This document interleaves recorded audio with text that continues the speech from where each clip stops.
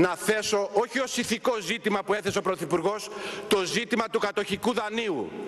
Το έκανα μέσα στο Βερολίνο και είναι αυτή η θέση του ποταμιού. Στην Επιτροπή για τη Διεκδίκηση των Γερμανικών Οφειλών, η οποία χτες άκουσε την Επιτροπή του Γενικού Λογιστηρίου του Κράτους που προσδιορίζει σε ποσό μεταξύ 280 έως 340 δισεκατομμύρια ευρώ την ελληνική αξίωση.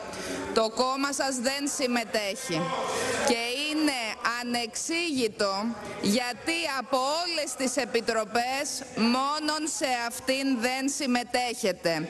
Είστε ευπρόσδεκτοι να συμμετάσχετε και να συμβάλλετε σε αυτήν την διεκδίκηση. Κατά δεύτερον, να διαβάσετε καλύτερα τον κανονισμό. Κατά δεύτερον, επειδή η ιστορία του καθενός είναι γνωστή, και στην υπηρέτηση των δικαιωμάτων και της αλήθειας και στην υπηρέτηση της συκοφαντίας και των ταβατζίδων.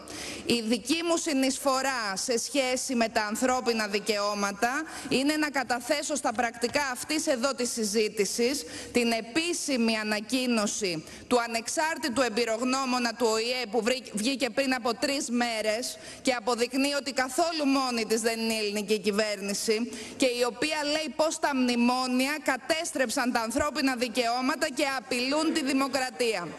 Το καταθέτω για τα πρακτικά.